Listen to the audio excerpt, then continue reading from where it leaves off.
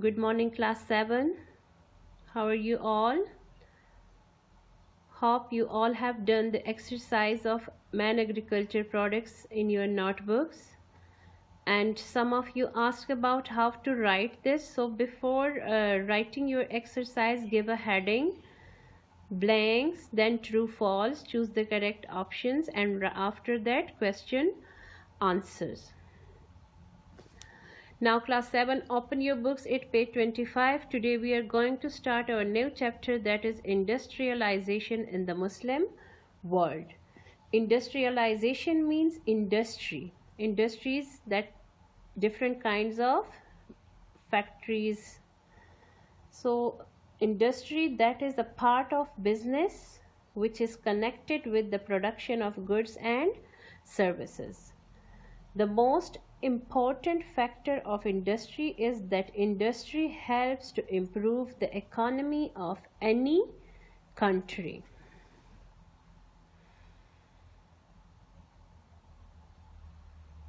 Muslim world have started in this field much later than the West. Two major reasons for this are that the colonial powers did not encourage industrialization in Asia as it was the source of cheap raw material for their own factories. There was not enough high grade iron ore, which is the basis of heavy industry. Until the discovery of oil and gas reserves, energy to run the factories was also a problem as there was very little high grade coal in the region.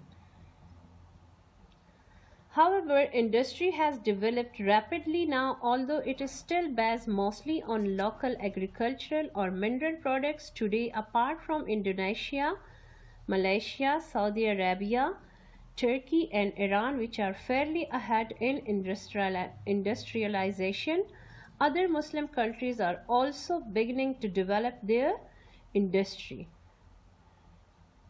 Now, Malaysia is the most developed country and produces high-tech goods such as electronic equipments. So, Malaysia is the uh, developed country and it produces electrical appliances and electronic equipments. It also produces for local use and also for export.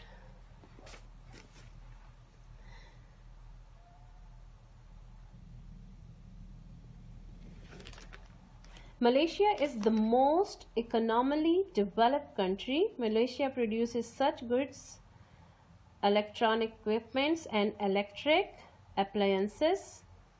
So, major exports of Malaysia are palm oil and rubber.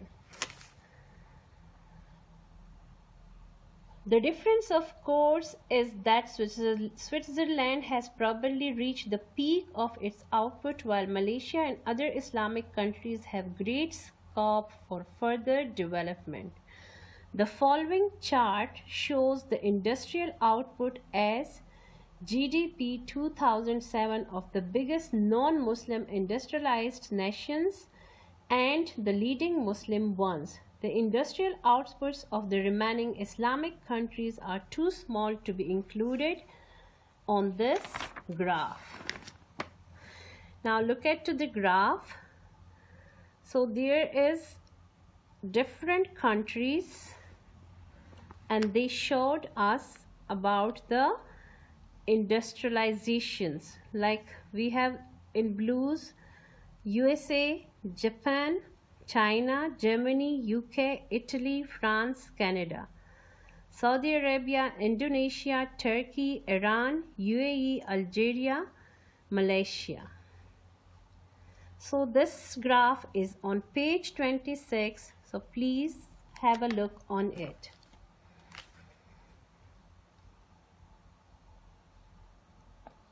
Saudi Arabia, this is the very rich country in Muslim world because the man and the basis exports of Saudi Arab is petroleum products.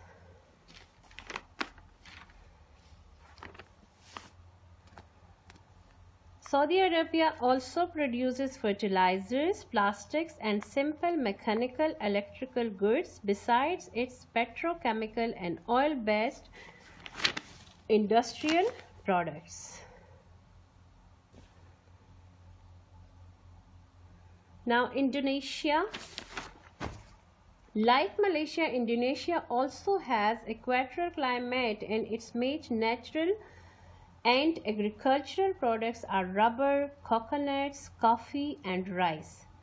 Indonesia also has developed a strong industrial infrastructure based on its mineral products oil and tin and its agricultural and natural products rubber and timber. It manufactures electronic equipments and appliances for local use and export and there are textile chemical and paper factories as well as shipyards in the man port cities tourism is also a successful industry in this region.